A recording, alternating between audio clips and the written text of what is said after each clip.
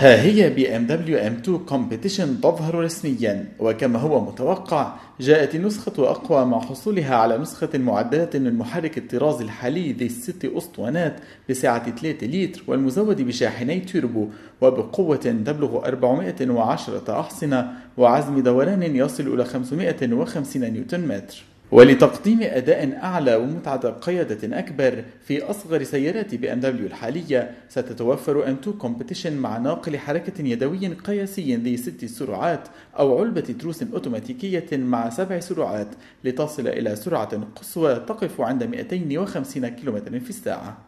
التصميم الخارجي يتميز بمقدمة مختلفة تسمح لكمية هواء أكبر بالدخول بالإضافة إلى نظام جديد للعادم وأربعة مخارج مطلية بالكروم الأسود.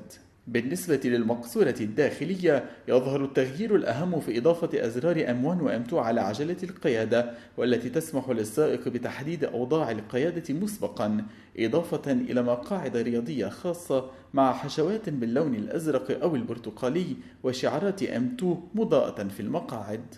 بي إم دبليو M2 Competition ستطرح للبيع هذا الصيف لدى الوكلاء وستستبدل طراز M2 الحالي الذي سيتوقف إنتاجه.